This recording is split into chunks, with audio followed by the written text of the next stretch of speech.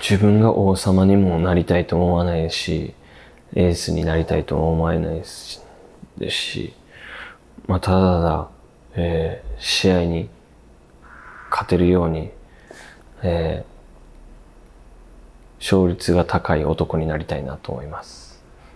あいつが出てたらなんか負けてなくないとか、あいつが出てたらなんか勝つよねみたいな方がいいかなと思います。エースよりかは。はい。荷が重いなと思います。はい。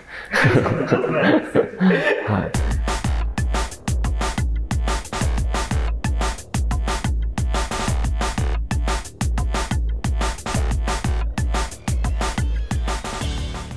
チームを勝たせたいという強い思いで戦っている大森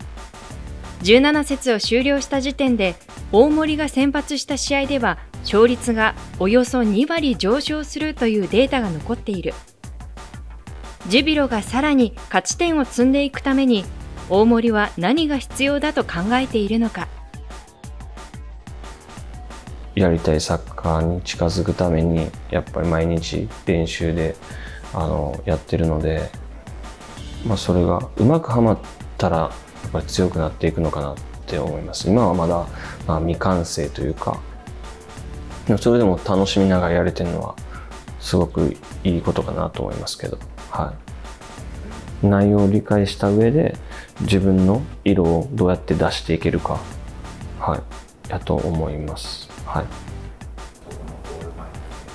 ゴール前の精度ですね。はい、楽しみながらやっていきたいなと思いますけど、はい。楽しいですね。はい。な時に、もうやってる最中ですね。別にボールを追っかけてしんどい時でも、サッカーやってんなって思いますし、はい。サッカーが楽しいボールを蹴り始めた時からずっと変わらない思いが大森にはあるプロになった今でも時折遊び心のあるプレーを見せる誰かに押さえつけられることもなくのびのびと純粋にサッカーを楽しんできたでは前編で紹介した緻密な駆け引きはどのようにして身につけたのだろうかまあ、中学生ぐらいの鳥かごですかね。3対1とか4対2の、パス回しの練習をするようになってからもずっと面白いなと思ってます。はい。小学校までは正直能力だけでいけるじゃないですか。足速かったりするだけでも2、3人抜けますけど、やっぱ中学になってくるとそうもいかないし、まあパスの角度だったりとか、じゃあ自分はパスを相手に出して成功して喜んでるようじゃ甘いみたいな。そいつがトラップミスしたらなんでトラップミスしたんやとか、そいつがじゃあなんでボール取られたんやってなった時に自分のボールの角度が悪かったりだったりとかパススピードが遅かったりっていうのをもっと考えてやれって言われてからはやっぱあサッカーって深いなって思いましたね。はい、鳥かごにサッカーのすべてが詰まっていると語る大森。相手と近い距離での駆け引きが鍛えられるのがこの練習だという。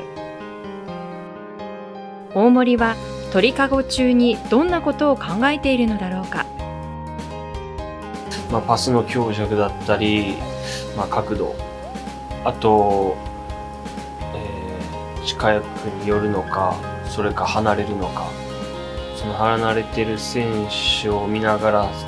速いボールを出せるかっていうのを考えながらやってますけどわざと食いつかせて食いつかせるような弱いパスだったりとかっていうのを入れながらっていうのはやっぱ試合でも、えー、生きてくるのかなと思います。まあ止める蹴るができないとまあできないし、まあ、その中で、えっと、一番、えー、上手くなる近道かなっ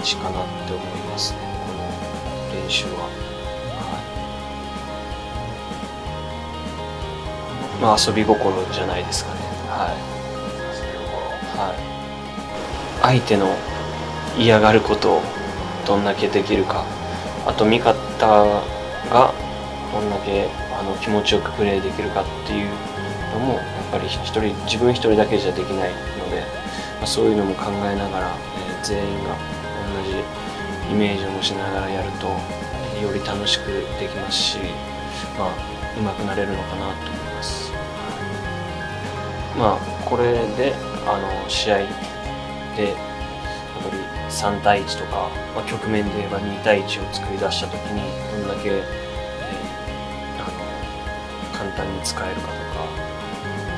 っていうのはやっぱり入ってるので、まあ、そういうところをやっぱり意識しながらやれば、まあ、上手くなっていくのかなと思います。鳥かごの練習を通して駆け引きの基礎を身につけてきた大森。その成果が発揮されるのは2対1の局面だ。例えば、サイドバックにドリブルを仕掛けた時に、味方のオーバーラップがある状況で、どうすれば相手を突破できるか。数的優位を作り出し、相手を崩すことに大森は強いこだわりを持っている。えー、簡単にボールを前に運べる。味方がフリーで気持ちよくプレーができる。まあそういうところですかね。いや、僕どっちかっていうとめちゃくちゃ下手くそやったんで、だそれがあったんかなと思います。できなかったからこれだけはもうやろうって執着心というか、はい、大きかったかなと思います。は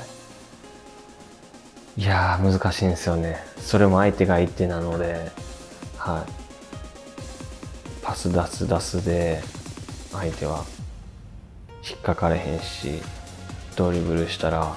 ドリブルするその角度とかによっては、2-1やのにそのままボール取られたりもありますし、だからそこはやっぱりまあ練習が全てかなと思います。はい、選手として成長するためそしてチームを強くするため日々真摯にサッカーと向き合っている大森。最後にこのクラブで成功したいという強い決意を語ってくれた。そうですね。まあ個人としてもチームとしてももう一度這い上がっていくためにやっていきたいなと思いますけど、はい、J2 に落ちてやっぱり周りからしたら落ちたっていう気持ちは強いと思うのでやっぱりいるべき場所に戻らないといけない。っていう自分の気持ちとやっぱチームとしてもそれがコンセプトなのでやっぱり両方ともきっちり達成させたいなと思います。やっぱりもう一度やっぱ J1 で